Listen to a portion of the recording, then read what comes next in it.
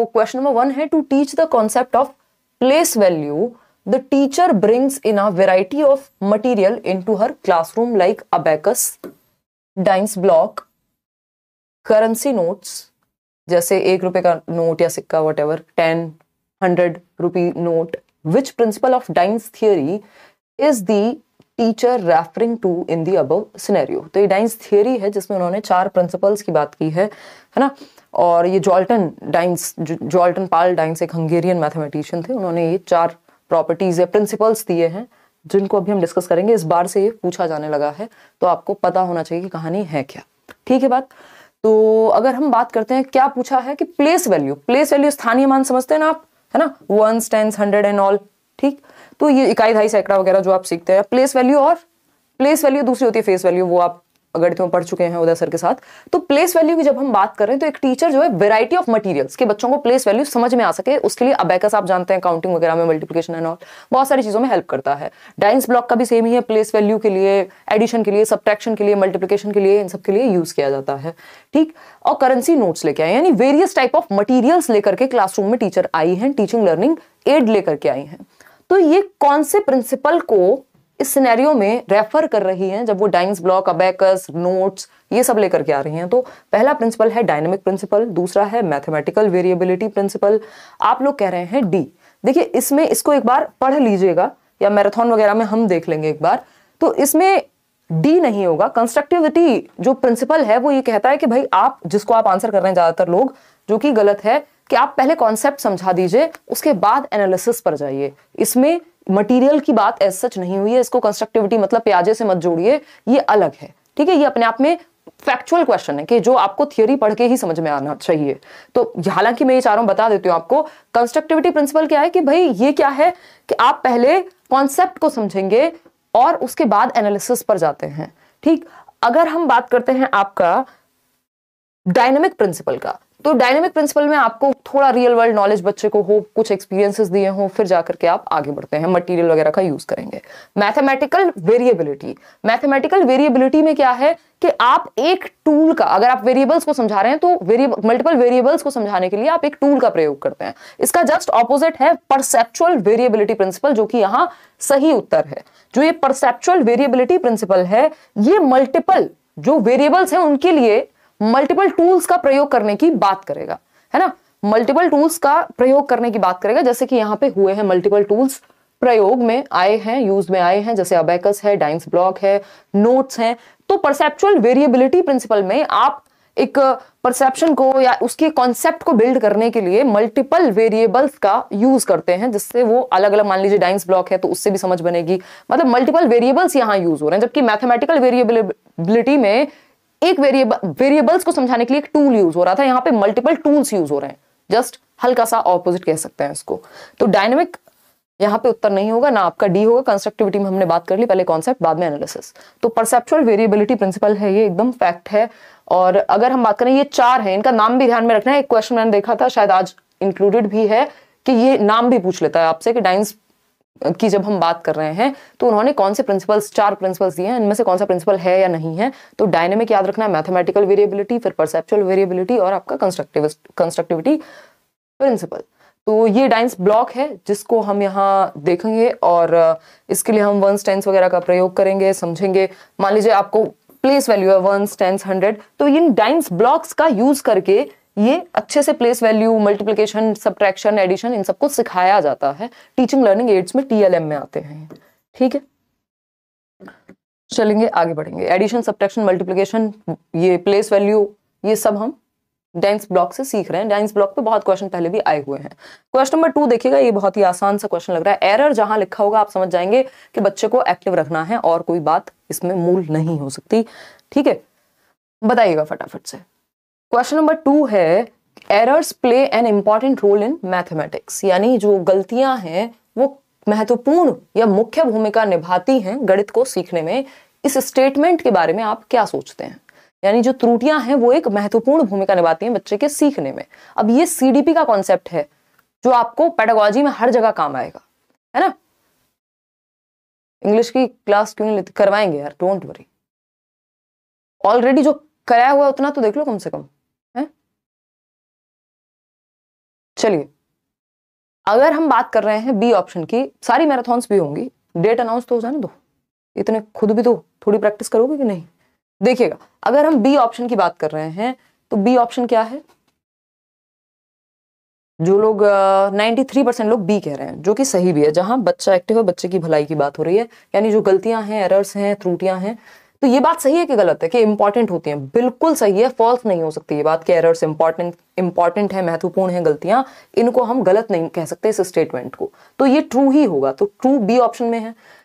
They help teacher understand how children construct mathematical concept यानी जो गलतियाँ हैं, जो त्रुटियाँ बच्चे से हो रही हैं, वो शिक्षक को यह समझने में मदद करती हैं कि बच्चे गणितीय अवधारणाओं का निर्माण कैसे करते हैं, वो मैथमेटिकल कॉन्सेप्ट को बिल्ड कैसे करते हैं बच्चे? इस बात को समझने में गलतियाँ हमारी मदद करती हैं, फिर भी डी ऑप्शन देखेंगे, क्योंकि ये भी ट्रू ही बोल रहा है इस बात को।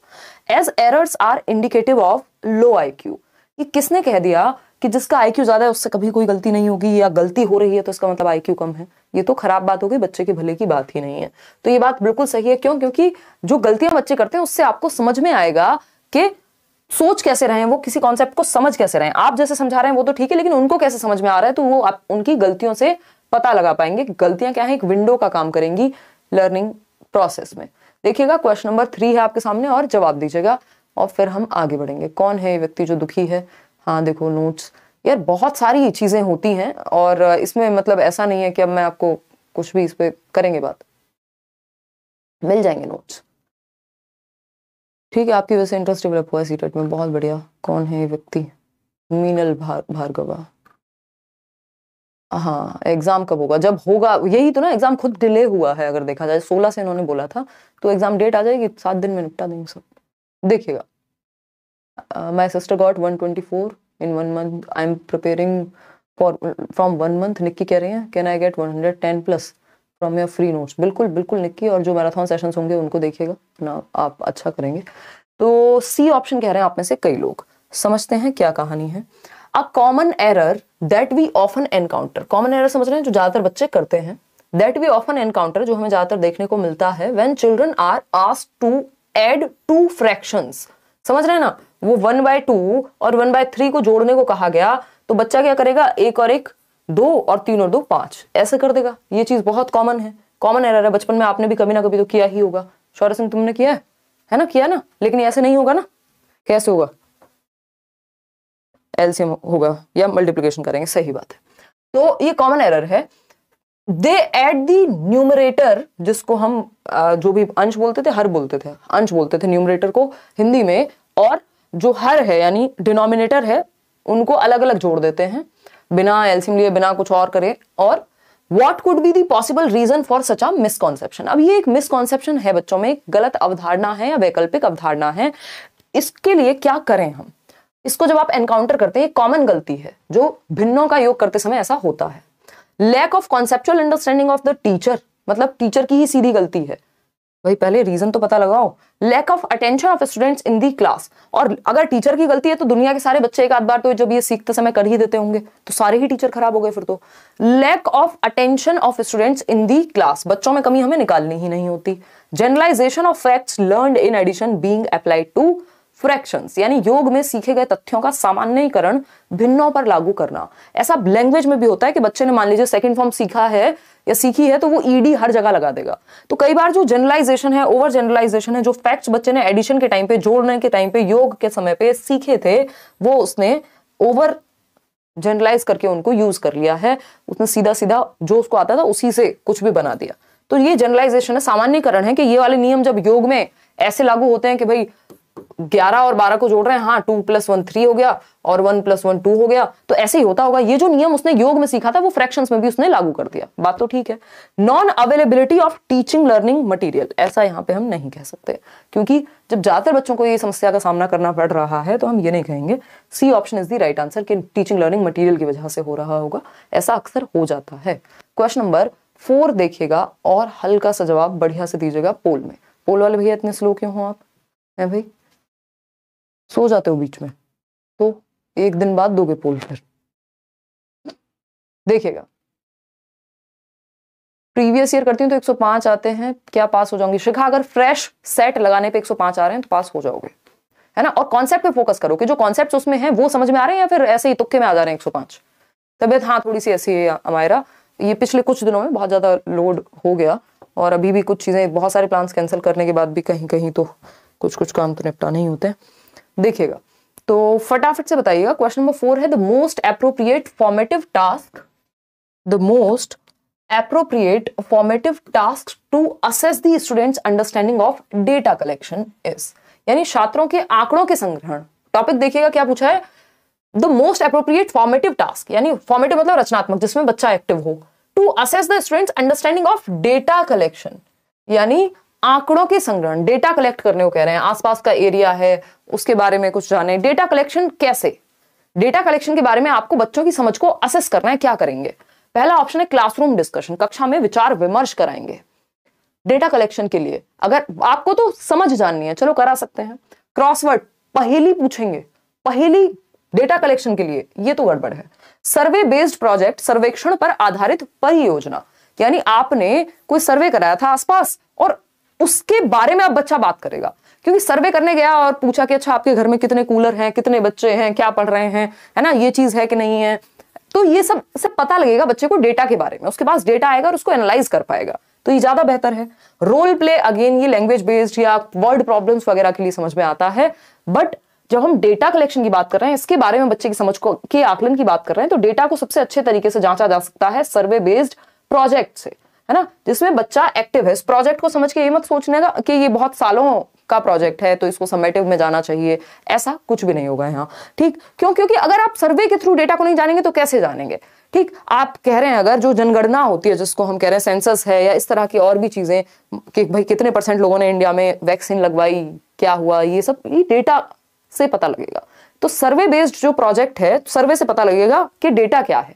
तो डेटा के आकलन के लिए सर्वे बेस्ड प्रोजेक्ट सबसे बेस्ट रहेगा। डिस्कशन से भी ज़्यादा, क्योंकि बच्चा एक्टिव है रियल लाइफ में उसको डेटा का जो सामना करना पड़ेगा, वो सी ऑप्शन में करना पड़ेगा। क्वेश्चन नंबर फाइव देखिएगा एक बार। क्या कहता है क्वेश्चन नंबर फाइव जवाब दीजिएगा पोल में। क्वेश्चन नंबर फाइव कहता है engaging students in mathematical activities at primary level can help in many ways like यानी बच्चों को अगर हम गणतीय एक्टिविटीज़ में, जिनमें मैथमेटिक्स का प्रयोग हो, उसकी मैथमेटिकल थिंकिंग लगे, अगर प्राइमरी लेवल पे इन्वॉल्व करते हैं तो इससे किस चीज़ में मदद मिलेगी बच्चों को? अगर हम प्राइमरी लेवल पे ही उनको मैथमेटिकल थिंकिंग वाली प्रोसेसेस में एक्टिविटीज़ में इन्वॉल्व करें तो। बताइएगा फटाफट से, फिर हम आगे बढ़ेंगे। देखिए, आपकी मास्टर क्लासेस दिन में चल रही हैं, संस्कृत की भी है आई थिंक सबसे लास्ट में तो वो आप अटेंड कर लीजिएगा, कोई कह रहा है संस्कृत में दिक्कत हो रही है। ठीक है ना? बताइएगा फटाफट से और लाइक शेयर करना आप लोग भूल जा रहे हैं, वो भी करते रहिएगा। कोई बात नहीं, तबीयत डाउन और वैसे ही चलती रहती है, ये तो छोटी मोटी बात है। तबीयत भी क्या है थकान और थोड़ा ओवरवर्क जब इंसान हो जाता है, बहुत लंबे समय तक छुट्टी ना मिलने पे, ऐसा होता है। बट कल मैं बिल्कुल प्योर छुट्टी रखूँगी संडे की, कुछ नहीं करना कल मुझे। देखिएगा। बहुत ही बढ़िया अलग अलग उत्तर आप लोग दे रहे हैं। चलिएगा, राजपूत, समझते हैं। अगर हम बात कर रहे हैं डी ऑप्शन आप लोग खुद से कह रहे हैं 62 परसेंट लोग। पहले ऑप्शंस पढ़ेंगे। Providing opportunities to children to explore many abstract concepts and learn computational strategies यानी छात्रों को कई अमूर्त अवधारणाओं का अन्वेषण करने और परिकलन रणनीतियों को सीखने के अवसर प्रदान करेंगे आप। यानी जब प्राइमरी लेवल पे आप मैथमेटिकल एक्टिविटीज़ करा रहे हैं, उसमें से कौन सी एक्टिविटी होगी जो बच्चे को हेल्प करेगी? जैसे प्रोवाइडिंग अपॉर्चुनिटीज़ ऐसे अवसर प्रदान करना जिसमें बच्चा एब्स्ट्रैक्ट कॉन्सेप्ट तक अपने आप पहुँचे और कंप्यूटेशनल स्ट्रेटजीज को सीखे कि कैसे शॉर्टकट में वो ऐड कर सकता है या कैसे कंप्यूट कर सकता है।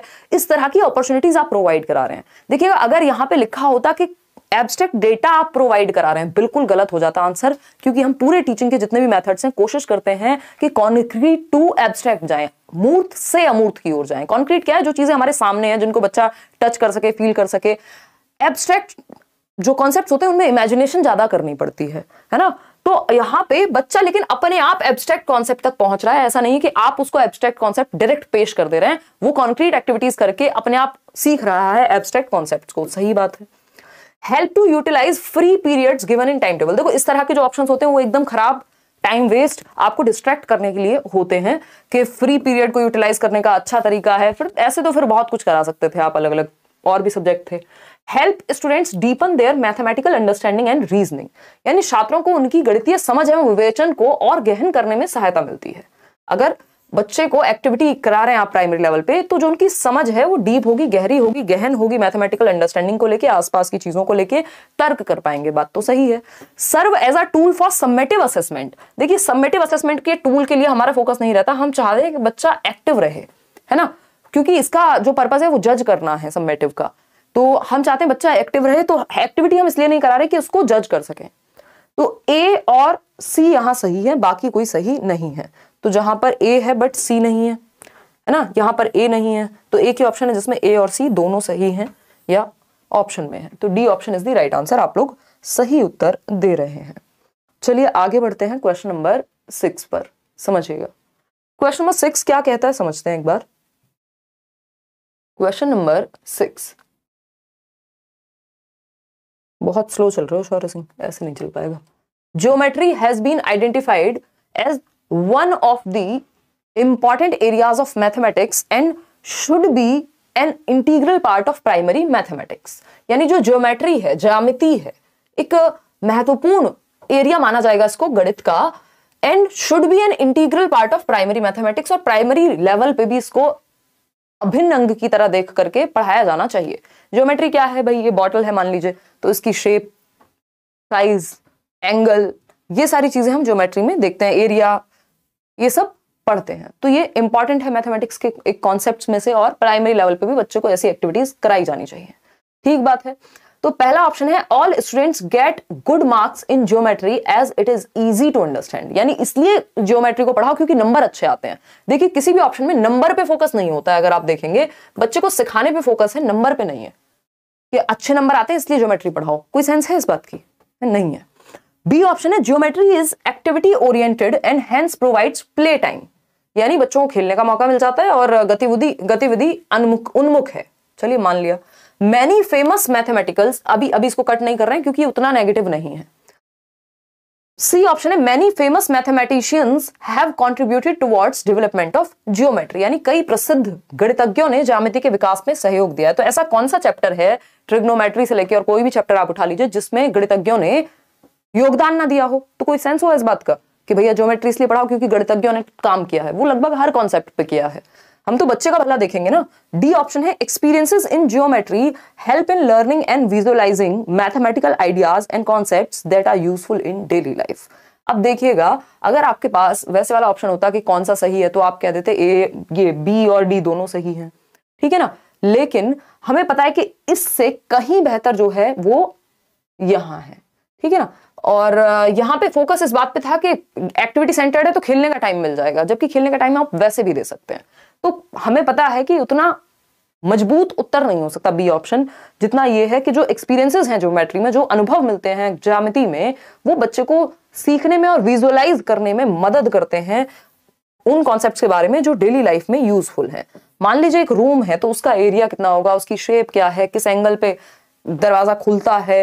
ये सब चीज़ें ज्योमेट्री क्या हमारी रियल लाइफ में हेल्पफुल है तो इसलिए इसको सिखाना ज़रूरी है या हम कहेंगे दैनिक जीवन में अधिगम और गणितीय विचारों एवं अवधारणाओं के अधिगम और दृष्टिकरण में सहायता मिलेगी। तो वो गणित जो है लाइफ से हमें जोड़ देना है। D option is the right answer क्योंकि ये सबसे ज़्यादा बच्चे को एक्टिव रखेगा और उसके रियल लाइफ से जोड़ने में उसको मदद करेगा। इस तरह के क्वेश्चन भी इस बार खूब पूछे गए और पूछे जा सकते हैं। पढ़िएगा एक बार इसको, ध्यान से और जवाब दीजिएगा पोल में। ठीक अगर हम बात करते हैं, किस चीज़ की बात करते हैं? देखिए, एक बार खुद से पढ़िए, फिर हम बात करेंगे।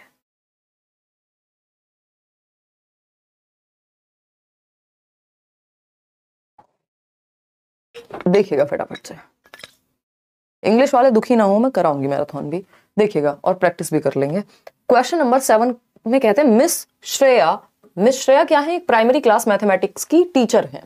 Uses various methods to teach addition of two digit numbers, यानी दो संख्याओं का जो, दो दो डिजिट के जो नंबर्स हैं, दो अंकों वाली संख्याओं का योग पढ़ाने के लिए मल्टीपल मेथड्स यानी वेरियस टाइप्स ऑफ़ एक्टिविटीज़ वो यूज़ कर रही हैं। जैसे आप देख रहे हैं ऑप्शन ए में वो क्या कर रहे हैं, भाई टू थ्री ये ट्वेंटी थ्री और फोर्टी सिक्स को ऐसे भी जोड़ सकते हैं। अब इस ट्वेंटी थ्री को ट्वेंटी प्लस थ्री और फोर्टी सिक्स को फोर्टी प्लस सिक्स भी लिख सकते हैं। ऐसे भी जोड़ सकते हैं आंसर सेम ही आएगा। अब twenty three plus forty six को डायरेक्ट ऐसे लिख सकते हैं, छह और तीन नौ होते हैं और इसको खोल के लिख दिया। तो ये क्या है? ये वेरिड ऑप्शंस दिमाग में आ रहे हैं बच्चे के।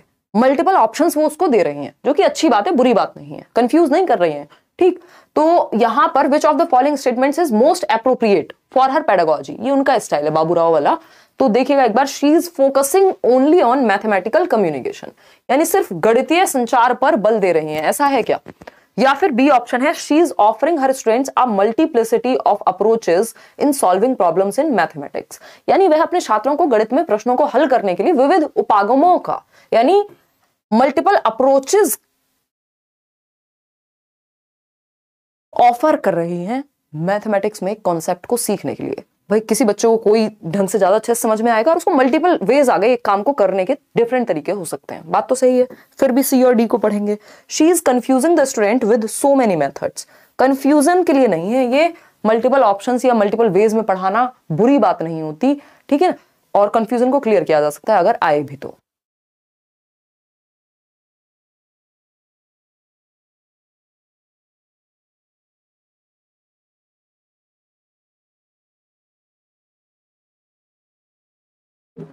डी ऑप्शन देखिएगा she is wasting a lot of time in solving one problem ऐसा भी नहीं है कि वो वेस्ट कर रही हो टाइम एक ही समस्या को सॉल्व करने में।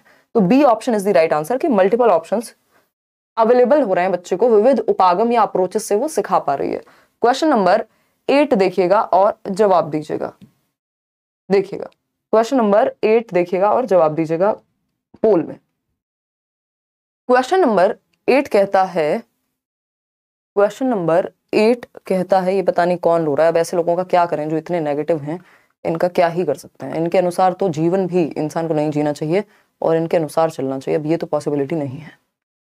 आ, ओके पहले वाली बात नहीं रही देखो ये एग्ज़ाम फिलिक नाम भी नहीं है इनके अपने बस ये या तो इनको कोई छोड़ देता है या ये खुद ही इतने फ्रस्ट्रेटेड है। कम से कम नाम भी रख लिया करो थोड़ा ऐसा लगेगा रियल हो है? पहले वाली बात नहीं रही अब कमेंट लेना बंद कर दो मैम बहुत डिस्टर्ब होता है, कमेंट कहाँ लिए जा रहे हैं भाई? कौन ले रहा है कमेंट तो क्या करें आपका? दुखी क्यों हैं आप इतने जीवन से? देखिएगा question number eight question number eight देखिएगा ये कहता है in a game of marbles यानी मार्बल्स के गेम में कंचों के खेल की बात हो रही है। होंगे आप में से कुछ कंचाधारी लोग ठीक? तो कंचों के गेम में Renu lost four marbles Renu जो है, चार मार्बल्स उसके हार जाती है वो। She is left with seven marbles तो उसको दूसरे व्यक्ति को देने पड़े होंगे, चार मार्बल किसी ने कंचे खेले होंगे तो याद होगा, है ना? और उसके पास अब सात मार्बल बचे हैं। With how many marbles did she start the game यानी कितने मार्बल्स के साथ उसने गेम को स्टार्ट किया होगा? यदि चार जो कंचे हैं वो हार गई और सात अभी भी हैं तो बच्चे को ये जानने के लिए क्या करना पड़ेगा? जो चार अभी हैं सॉरी जो चार लूज कर चुकी है और सात अभी है, इन दोनों को प्लस करके पता लग जाएगा टोटल कितने मार्बल से गेम शुरू किया होगा। यानी जोड़ना पड़ेगा इसके लिए ग्यारह आ जाएगा आंसर ठीक है जी? कोई दिक्कत नहीं है। तो कॉन्टेक्चुअल क्वेश्चन ऑन एडिशन बात तो सही लग रही है। ओपन एंडेड क्वेश्चन अब इसमें ओपन एंडेड कुछ नहीं है, क्योंकि चार और सात या सात प्लस चार, ग्यारह ही आंसर आना है तो इसमें कोई भी ओपन एंडेडनेस नहीं है। मल्टीपल चॉइस क्वेश्चन यहाँ पे दिए थोड़ी है चार option contextual question on subtraction तो आप में से कई लोगों को ये अभी भी कंफ्यूजन है. 63 परसेंट लोग ए कह रहे हैं और 13 परसेंट लोग डी कह रहे हैं। देखिएगा, इसमें सब्ट्रैक्शन की बात इसलिए नहीं है। ये कॉन्टेक्चुअल क्वेश्चन तो ये है, संदर्भ में है, कंचों के संदर्भ में है रियल लाइफ के संदर्भ में है। किसी कॉन्टेक्स्ट के बारे में बात हो रही है। तो जब किसी कॉन्टेक्स्ट के बारे में बात हो रही है तो हमें पता है कि मार्बल्स का गेम है जिसमें चार मार्बल जो रेनू है, वो हार गई है। सात उसके पास है। क्वेश्चन क्या है? With how many marbles did she start the game कितने मार्बल्स के साथ गेम को स्टार्ट किया था? तो उसके लिए उसको ऐड करना पड़ेगा। तो हम कॉन्टेक्स्ट में एडिशन सिखा रहे हैं, है ना? कितने रह गए उसके लिए? हम घटा करके नहीं कह रहे उसको। हम सिंपल कह रहे हैं एडिशन करके बता देगी वो। सब्ट्रैक्ट करके थोड़ी ना बताएगी। ठीक? तो यहाँ पे क्या हुआ? A option is the right answer आगे बढ़ेंगे क्वेश्चन नंबर नाइन पर। देखिएगा इजी क्वेश्चन आते हैं। आप घबराना नहीं है आपने। ठीक है ना? क्वेश्चन नंबर नाइन टेंशन मत लो। बिल्कुल भी। रोज सेशन क्यों नहीं लेते हो? कुमार कह रहे हैं। कुमार, अभी बीच में यार कुछ केबीएस की वजह से थोड़ा सा ये कहेंगे डिस्टर्बेंस हुआ है और कुछ चीज़ें भी कई बार इंपॉर्टेंट हो जाती हैं तो एक आध एक आध दिन ऐसा हुआ है कि क्लास नहीं हो पाई है अदरवाइज़ तो आपकी क्लासेस चल ही रही हैं। देखिएगा, साढ़े आठ घंटे की मैराथन देख लो अगर मैं पूछूँ तो। अगर ऐसे लोग मिल गए जिन्होंने नहीं देखी है, फिर वो ये पूछने के हकदार नहीं है रोज सेशन नहीं हो रहा। देखिएगा एक बार, अगर हम बात करें और जी। देखिएगा अब बैलेंस हो जाएगा। जो आपका मंडे का टाइमिंग है संडे को तो ऑफ़ रखेंगे यार, अब देखिएगा where do we use sexagesimal system तो एक शास्त्रिक पद्धति है। शास्त्र या शस्ट का जो मतलब है या सेक्साजेसिमल का जो ये मतलब है, इसका मतलब ये सिक्सटी ये सेक्सा जो वर्ड बना है, वो सिक्सटी से बना है। तो जिसमें बेस सिक्सटी हो तो ये शास्त्रिक पद्धति का उपयोग कहाँ पर करते हैं? पहला ऑप्शन है इन क्वांटिफिकेशन ऑफ़ डेटा यानी आंकड़ों के प्रमाणीकरण में, यानी आंकड़ों को क्वांटिफाई करने के लिए एंगल्स को मेजर करने के लिए, यानी कोण को मापने के लिए measuring distances in foot and yards यानी फुट और गज में माप रहे हैं किसी डिस्टेंस को, दूरी को, या फिर हिंदी और अरेबिक न्यूमरल्स में लिखने को कह रहे हैं। तो ये जो आपका सेक्साजेसिमल है, इसमें measuring its for measuring angles यानी कोण को मापने के लिए, और जनरली जो सिक्स टेन का बेस रखा जाता है, इसमें बेस सिक्सटी होगा। तो ये हम ध्यान रखेंगे, पूछा भी जा सकता है बेस सिक्सटी किसमें होता है? तो सेक्साजेसिमल कॉन्टेक्स्ट में एंशियंट विधि है ब्रिटिश ब्रिटिशर्स बेसिकली ये ब्रिटिश सिस्टम से ली गई है। ठीक है ना? तो B option is the right answer over here आगे बढ़ेंगे नेक्स्ट क्वेश्चन पे। क्वेश्चन नंबर है टेन ट्वेंटी हम करने वाले हैं। क्वेश्चन नंबर टेन क्या कहता है? समझिएगा एक बार। क्वेश्चन नंबर टेन कहता है which one of the following is true about teaching and learning of mathematics in classes one and two यानी कौन सी एक बात गणित पढ़ाने के विषय में कक्षा एक और दो के लिए सही है एज पर एनसीएफ यानी नेशनल करिकुलम फ्रेमवर्क 2005 के अनुसार कौन सी बात गणित के संदर्भ में सही है? इतना स्लो चल रहे हो। कैसे हो जाता है अपने आप? ध्यान नहीं है ना शौर्य? अगर ध्यान होगा तो नहीं होगा बाबू। देखिए, अगर हम बात करें, कोई बात नहीं, करो। क्योंकि पहले तो आप ठीक करते थे, फिर बीच में आप आलसी हो गए, आपको लगा ये तो बहुत इजी काम है तो इस पर ध्यान देना छोड़ देते हैं। अदरवाइज़ ऐसा थोड़ी आता नहीं है। देखिएगा question number ten Which one of the following is true about teaching and learning of mathematics in classes 1 and 2 as per the vision of NCF? कक्षा एक और दो के विषय में। गणित को पढ़ाने की बात हो रही है एनसीएफ के अकॉर्डिंग तो एल्गोरिदम्स पे और रोट लर्निंग पे फोकस करेंगे। एनसीएफ क्या कोई भी अच्छी पॉलिसी रोट लर्निंग नहीं रटंत विद्या पे फोकस नहीं करती है। मीनिंगफुल लर्निंग अर्थपूर्ण अधिगम पर फोकस करती है। बी ऑप्शन है only oral mathematics problems should be done in classes one and two यानी सिर्फ़ ओरली मैथमेटिक्स में पूछ लो, जो पूछना है मौखिक प्रश्नों का ही इस्तेमाल। क्यों भाई? इससे भी रटन विद्या ही बढ़ेगी, बाकी एक्टिविटीज़ बच्चे को तो एक्टिव भी रखना है ना। Mathematics should be integrated with other subjects like language arts EVS यानी गणित को अन्य विषयों जैसे भाषा, कला और पर्यावरण अध्ययन आदि के साथ समाकलित किया जाना चाहिए। यानी हम मैथ्स को लैंग्वेज के थ्रू भी सिखा रहे हैं, हम ईवीएस भी पढ़ा रहे हैं, क्योंकि मैथ्स क्या है? हर जगह है एवरीवेयर तो आप कॉन्टेक्स्ट में जब बात करेंगे तो ईवीएस में भी नंबर्स का ज़िक्र होगा। लैंग्वेज में भी जब हम बात कर रहे हैं ना, वो वर्ड प्रॉब्लम्स देते हैं कि इतने थे, कुल इतने हो गए। तो वो सब भी लैंग्वेज भी सीख रहा है, बच्चा मैथ्स भी सीख रहा है। तो इंटीग्रेटेड एजुकेशन पे हम फोकस करते हैं, जिसको हम कहते हैं कि हम समाकलित कह लीजिए या इंटरडिसिप्लिनरी अप्रोच कह लीजिए कि आप एक सब्जेक्ट से दूसरे सब्जेक्ट को जोड़ करके पढ़ाते हैं।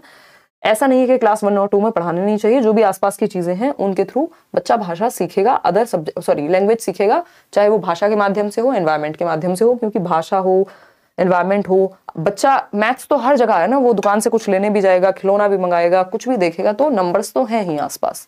ठीक क्वेश्चन नंबर इलेवन देखिएगा।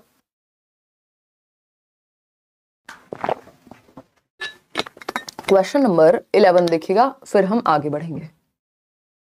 हम्म। संस्कृत की क्लास आपकी टाइम टेबल में दिया हुआ है उसमें। आप अगर देखेंगे आ, क्या कहते हैं उसको कम्युनिटी टैब पर या मैंने वहाँ पे भी टेलीग्राम पर भी मेंशन किया हुआ है। आप डेली क्लासेस आपकी सवा दो बजे से मास्टर क्लासेस हो रही हैं जिनमें आपके क्वेश्चंस प्रैक्टिस हो रहे हैं सीटेट के लिए अलग अलग टीचर्स करियर की टीम से आपके साथ जुड़े हुए हैं। और फिर भी आप कह रहे हैं डेली क्लासेस नहीं हो रही हैं। आपसे लास्ट में मिला था पार्किंग में प्लीज़ मैम रिप्लाई दे दीजिए। राठौर यादव कह रहे हैं मेरा नाम राहुल है। राहुल मैं रिकॉल नहीं कर पा रही हूँ। पार्किंग में एक्चुअली कई लोग मिले थे। ओके गॉट इट ठीक है ठीक है ठीक है ठीक है। मुझे हल्का हल्का याद आ रहा है। चलिएगा खैर। अगर हम बात करते हैं क्वेश्चन नंबर इलेवन की।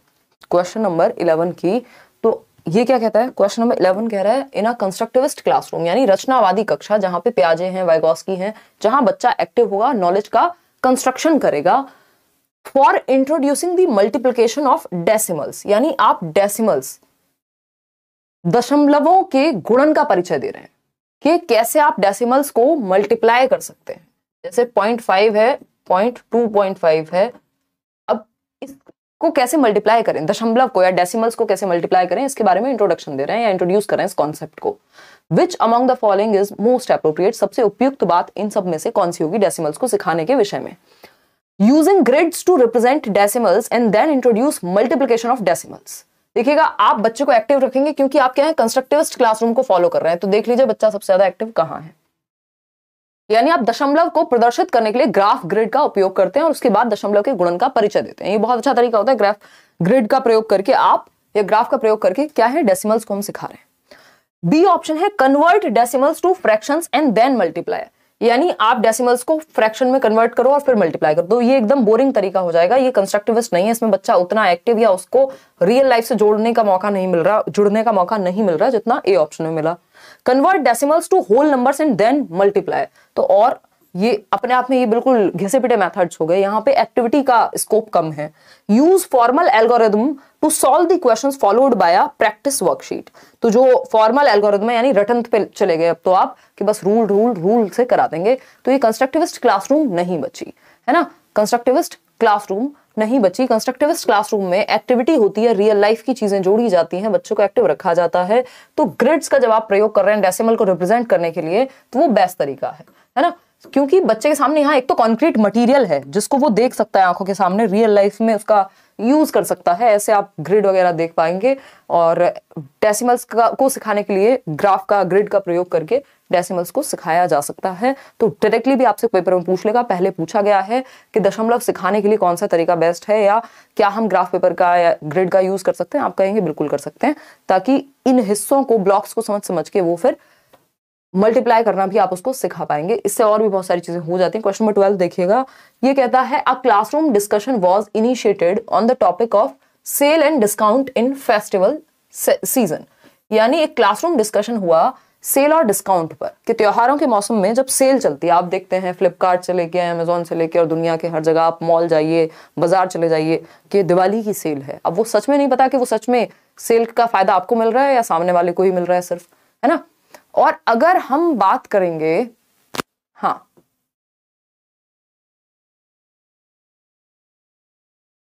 हाँ गुलशन सही कह रहे हो, बिल्कुल। ऐसा हो सकता है, अभी देख लेंगे एक बार, है ना? एक बार चेक कर लेंगे उसको कि वो क्लास वन की बात हो रही थी या थर्ड टू फिफ्थ की बात हो रही थी। हाँ ईवीएस वन और टू में नहीं होता। वो ईवीएस तो हम खुद लैंग्वेज के थ्रू सिखा रहे हैं तो एक बार उसको चेक कर लेंगे डोंट वरी कौन सा क्वेश्चन था वो? टेन है ना? लास्ट में एक बार। नहीं, जो था यार। क्वेश्चन नंबर ट्वेल्व देखिएगा एक बार। डी ऑप्शन कह रहे हैं फिफ्टी नाइन परसेंट यानी, बात क्या चल रही है? क्लासरूम डिस्कशन वॉज़ इनिशिएटेड एक टॉपिक है सेल एंड डिस्काउंट का कि फेस्टिवल के मौसम में, त्योहारों के मौसम पे सेल और डिस्काउंट का एक कॉन्सेप्ट चलता है।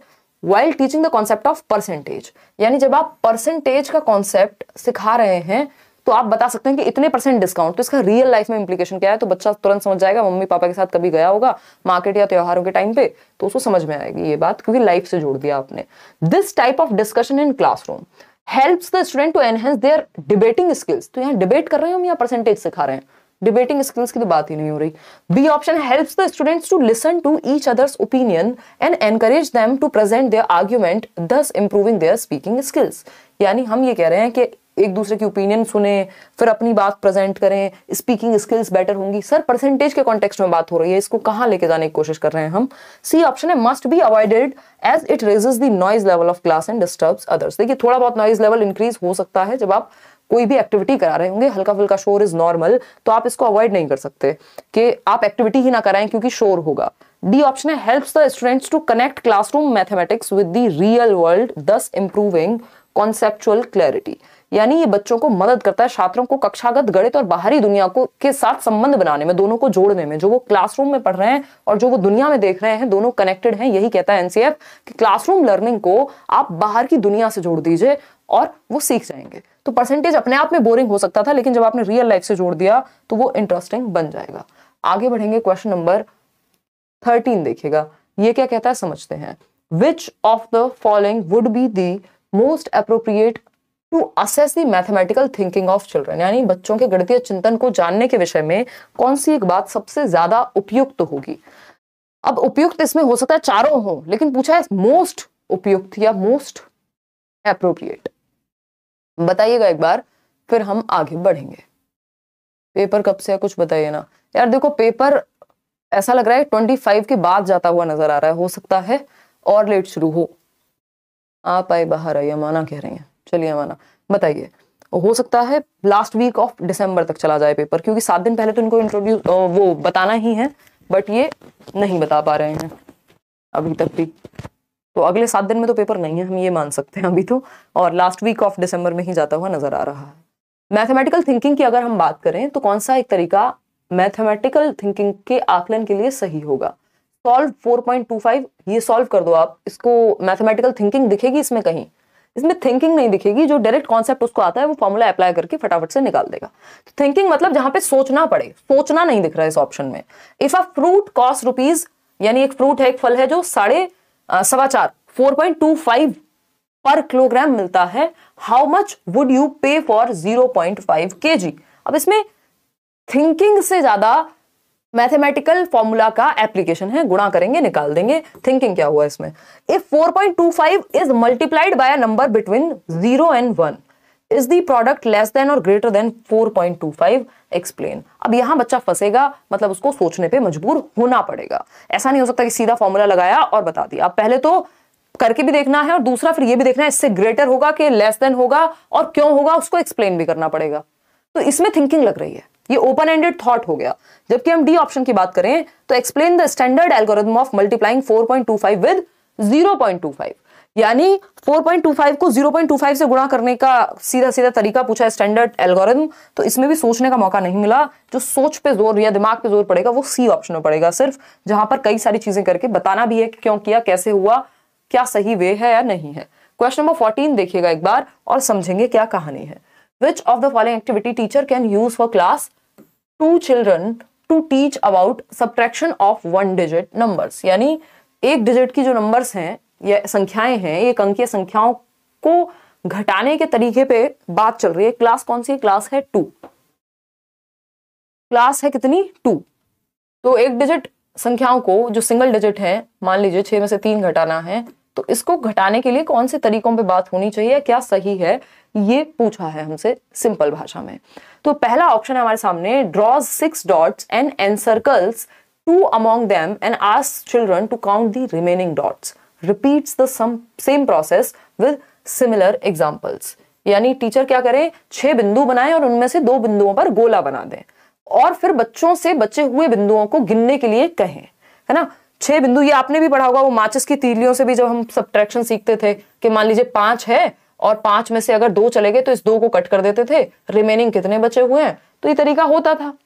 अब यहाँ पे ये कह रहे हैं जी फाइव डॉट्स हैं, और इन फाइव में से दो को तो एनसर्कल कर दिया या हटा दिया, और बाकी कितने बचे, ये पूछा है। तो सही तो है बात वर्ड प्रॉब्लम की बात है। तो सही है। Write six minus two is equal to four on black board and ask children to write it ten times in their notebook देखिए, आपको ये मानना पड़ेगा कि बच्चा छोटा है तो कॉन्क्रीट मटेरियल का प्रयोग करें।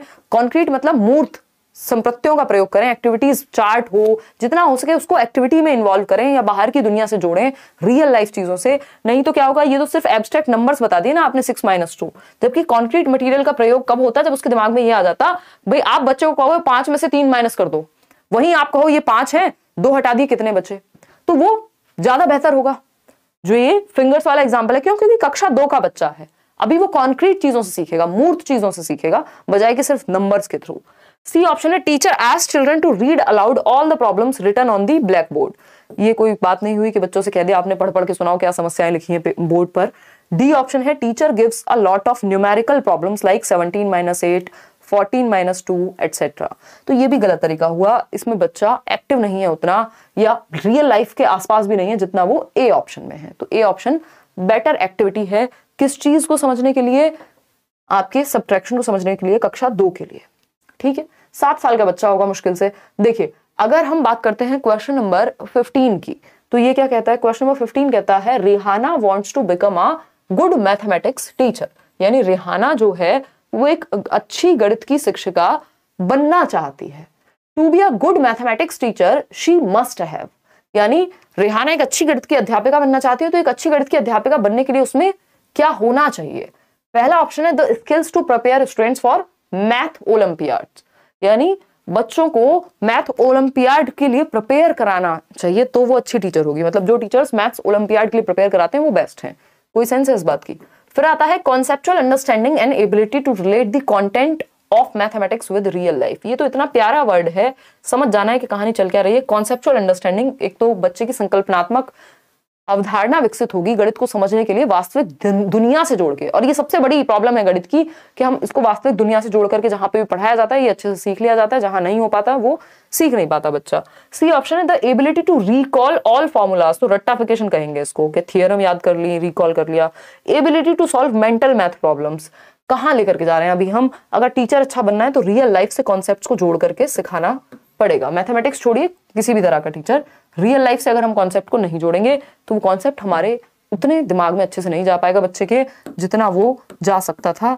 B option is the right answer question number sixteen question number sixteen क्या कहता है? क्वेश्चन नंबर सिक्सटीन कहता है which of the following is not one of the principles of the Dienes theory यानी Dienes theory जो है, जो हम अभी बात कर रहे थे डाइंस की, जो हंगेरियन मैथमेटिशियन है, उनका नाम मैं भूल जाती हूँ जॉल्टन डाइंस आई थिंक उनका नाम है। तो डाइंस ब्लॉक हम पढ़ते हैं सब्ट्रैक्शन के लिए एडिशन के लिए मल्टीप्लिकेशन के लिए, इन सब के प्लेस वैल्यू के लिए। अभी हमने स्टार्टिंग में भी एक क्वेश्चन किया था। तो पूछा है, कौन सा एक प्रिंसिपल नहीं है? उन्होंने चार प्रिंसिपल के बारे में मेजरली बात की है। मतलब अब बताइए, इनमें से कौन सा प्रिंसिपल नहीं है? चार ने और भी चीज़ों में बात की है जनरली बट ये चार तो हमें पता होते ही हैं, या होने चाहिए। इनकी थियोरी थोड़ी सी बड़ी और कॉम्प्लेक्स थियोरी है। अभी चार ऑप्शंस के थ्रू हमने सीखा था। कंस्ट्रक्टिविटी प्रिंसिपल वहाँ था। डायनेमिक प्रिंसिपल पे भी हमने बात की थी कि एक्सपीरियंसेस के थ्रू बच्चा सीखता है, पहले एक्सपीरियंसेस होने चाहिए, फिर हम सिखाएँ उसको कोई चीज़। रिवर्सिबिलिटी प्रिंसिपल हमने नहीं देखा ऑप्शंस में। मैथमेटिकल वेरिएबिलिटी प्रिंसिपल हमने देखा था और फोर्थ हमने देखा था आपका परसेप्चुअल वेरिएबिलिटी प्रिंसिपल लेकिन रिवर्सिबल रिवर्सिबिलिटी प्रिंसिपल हमने कहीं नहीं देखा तो ये नहीं है। डाइंस प्रिंसिपल्स का हिस्सा C option question number seventeen देखिएगा। क्वेश्चन नंबर सेवनटीन प्याजे से क्वेश्चन प्याजे से मैथमेटिक्स की पेडागोजी में आता ही है नंबर सेंस को लेकर के कि बच्चे कैसे नंबर का सेंस बनाते हैं क्लासेस में। Number according to प्याजे is a synthesis of two kinds of relationships the child creates among objects यानी दो प्रकार के रिलेशनशिप हैं, यानी प्याजे के अनुसार संख्या बच्चे द्वारा वस्तुओं के बीच बनाए गए दो प्रकार के संबंधों का संश्लेषण है, यानी दो तरह के रिलेशन हैं जिनको साथ में जोड़ करके बच्चे ने अपनी नंबर की सेंस को डेवलप किया है। पहला है ऑर्डर एंड हायरारिकल इंक्लूजन यानी क्रम और पदानुक्रम समावेशन। ये तो आप बिठा ही लीजिएगा दिमाग में, ठीक है? Order and reversibility seriation and hierarchical inclusion या सीरिएशन और कंजर्वेशन तो ये अपने आप में ही क्लासिफिकेशन का हिस्सा बन जाता है कि एक तो बच्चा ऑर्डर में समझता है जब वो नंबर सेंस की बात करेगा और दूसरा हायरारिकल इंक्लूजन तो इसमें क्या होगा? सिंथेसिस लगता है कि दो चीज़ों को जोड़ करके ऑर्डर प्लस हायरारिकल इंक्लूजन यानी उसने क्लासिफाई करना इंक्लूड करना सीख लिया है। इसको आप ऐसे भी समझ सकते हैं कि मान लीजिए दो टॉफी हैं तो दो टॉफी का मतलब है या तीन टॉफी है मान लीजिए तो इसमें जिसके पास तीन टॉफी यानी दो नंबर या दो टॉफी उसके पास ऑलरेडी इंक्लूडेड है। इसका मतलब इसी को हायरारिकल इंक्लूजन कहते हैं कि पाँच में तीन तो इंक्लूड होता ही है, यानी पाँच बड़ा है तीन से ये हम कह सकते हैं। ठीक है ना? और पीजी मास्टर्स है और सीटेट नहीं है। मैं बीएड कर रही हूँ। क्या केवीएस में पीजीटी के लिए फॉर्म फिल कर सकती हूँ? उन्होंने बीएड आई थिंक मांगा हुआ है। आप ये मतलब ऐसा नहीं है कि जैसे पीजी इसमें होता है डी प्लस बी में कि आपने मास्टर्स की हो, आप बाद में बीएड कर सकते हैं। तो मंतशा मेरे ख्याल में आप नहीं कर सकते हैं। फिर भी आप वो रूल और डिटेल में पढ़ लीजिएगा। है ना? सिलेबस के साथ मैंने या वो शेयर किया हुआ है टेलीग्राम पे। तो यहाँ पे तो अब अपेयरिंग में काम नहीं चल पाएगा। बी एड आपको सारी कंप्लीट चाहिए। मतलब कहा हुआ है इन्होंने। ठीक? तो ऑर्डर एंड हायरारिकल इंक्लूजन एक इसमें होता है one on one correspondence number sense के लिए प्याजे ने कुछ कुछ बातें की हैं। अगर हायरारिकल इंक्लूजन या ऑर्डर की हम बात करें तो इसको ऐसे भी आप देख सकते हैं कि ये वन है टू है थ्री है फोर है फाइव है। तो इस फाइव में ये फोर भी इंक्लूडेड है थ्री भी इंक्लूडेड है टू भी इंक्लूडेड है वन भी इंक्लूडेड है। इसी को हायरारिकल इंक्लूजन कह रहे हैं हम, है ना? और एक चीज़ होती है नंबर सेंस को समझने के लिए, और ये सीक्वेंस है, क्रम है। ऑर्डर और हायरारिकल इंक्लूजन दोनों इसमें शामिल हो गए। एक चीज़ है one on one correspondence one on one correspondence इसको मान लीजिए आपको कहा जाए कि एक नंबर तो एक नंबर पे आप एक चीज़ रखेंगे। दो नंबर जहाँ लिखा हुआ है यानी वहाँ दो बॉक्स रखने होंगे। यानी किसी एक चीज़ से कॉन्क्रीट मटेरियल से आपने नंबर्स के साथ उसको जोड़ दिया है। थ्री है तो थ्री चीज़ें रखेंगे आप वहाँ पे जो भी मटेरियल की बात हो रही है। वो है वन ऑन वन कॉरेस्पॉन्डेंस ये भी नंबर के ही कॉन्सेप्ट से जुड़ा हुआ है प्याजे के संदर्भ में, अगर हम बात करें। क्वेश्चन नंबर एटीन देखिएगा। ये क्या कहता है? समझेंगे। Question number eighteen. पढ़िएगा, जवाब दीजिएगा पोल में। ठीक है ना? मंतशा आप नहीं कर पाएँगे, है ना? मतलब इस चीज़ में अप्लाई आपकी मतलब ऐसा नहीं, आप पेपर नहीं कर पाएँगे। देखिएगा, जवाब दीजिएगा।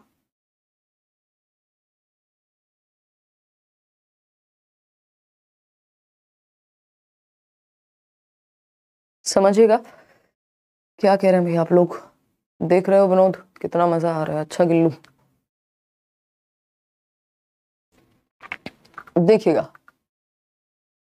यार इनका सब्जेक्ट कॉम्बिनेशन केबीएस वालों को ना ऐसे ही हर साल परेशान होते हैं जब मतलब जब भी ये आता है। क्या करूँ? सब किया और सब पढ़ा है। सोनम कह रहे हैं फिर भी नब्बे नंबर नहीं आ पा रहे तो सब पढ़ा ही है वो दिमाग में सेट नहीं हुआ है सोनम फिर। नहीं तो आए आ, कैसे नहीं आ पाएँगे? मतलब आपको खुद ही जब आप क्वेश्चन गलत कर रहे हैं डेढ़ सौ में से जो बाकी के साठ क्वेश्चन आप गलत कर रहे हैं उनसे पता लग जाए ना किस तरह के कॉन्सेप्ट आपके गायब हैं जो आपको लग रहा है कि सब पढ़ा है। लेकिन वो फिर भी नदारद हैं वो कॉन्सेप्ट तो उनको ठीक से दोबारा से पढ़ना है। क्वेश्चन को पढ़ के समझने का प्रयास ज़्यादा करना है है ना? उस चक्कर में मत पड़ जाना ये आजकल बहुत सिस्टम है कि आँख बंद करके क्वेश्चंस प्रैक्टिस करो, है ना? डेढ़ सौ पेपर में क्वेश्चन आ रहे हैं, आप पंद्रह हज़ार प्रैक्टिस कर लो, डेढ़ डेढ़ हज़ार प्रैक्टिस कर लो। प्रैक्टिस करने में प्रॉब्लम नहीं है, अगर आपने समझ के सौ क्वेश्चन भी ठीक से प्रैक्टिस किए हैं और आपके सेक्शन में तीस क्वेश्चन आने हैं तो भी दिक्कत नहीं होगी क्योंकि कॉन्सेप्ट क्लियर है। सिलेबस तो सेम ही है ना। तो वो कॉन्सेप्ट पे भी फोकस करना है, सिर्फ़ प्रैक्टिस नहीं। कि आँख बंद करके हमें क्या लगता है, कई बार बस सेट पे सेट लगाए जाओ, अपने आप नंबर आते रहेंगे। कॉन्सेप्ट भी तो समझना होगा एनालाइज भी तो करना पड़ेगा उस पेपर को। क्वेश्चन नंबर 18 है students often make a mistake in comparing the decimal numbers यानी डेसिमल नंबर्स को कंपेयर करने के लिए, करने में बच्चे कई बार गड़बड़ कर जाते हैं। फॉर एग्ज़ाम्पल उसको 0.50 ग्रेटर लग सकता है 0.5 से।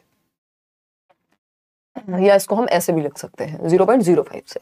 ऐसा होता है ना कई बार मतलब कुल मिलाकर के उनको समझ में नहीं आता, जैसे zero point four five zero point five तो उसको लगेगा, यार, यही बड़ा है। तो डेसिमल में जो नंबर है, वो छोटा नंबर भी हमें कई बार बड़ा नज़र आता है। तो इसका रीजन क्या है? इस एरर का।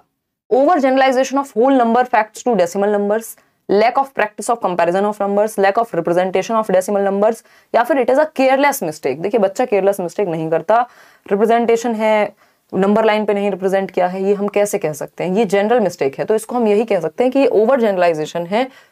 जो होल नंबर्स के फैक्ट्स बच्चे ने सीखे हैं, कि दो बड़ा होता है, एक से तीन बड़ा है, दो से ये जो होल नंबर के बारे में हमने जो चीज़ें सीखी होती हैं, उन्हीं को हम अप्लाई कर देते हैं डेसिमल नंबर पे। तो जो चीज़ आपने सीखी है, उसको आप कहीं और भी अप्लाई करे जा रहे हैं तो वहाँ पे इस तरह की मिस्टेक्स होती हैं, जैसा कि हमने अभी एक और क्वेश्चन में भी देखा था। क्वेश्चन नंबर जैसा एडिशन वगैरह में भी करता है बच्चा, जो भिन्न वाला एक क्वेश्चन था ना। क्वेश्चन नंबर 19 देखिए सेकंड लास्ट है। Which of the following represents a national initiative taken by the ministry of education in 2021 2021 में मिनिस्ट्री ऑफ़ एजुकेशन जो एमएचआरडी होती थी ministry of human resource and development आपको पता है एनईपी e ने नेशनल एजुकेशन पॉलिसी 2020 में उसको चेंज किया है। उसका नाम हो गया शिक्षा मंत्रालय।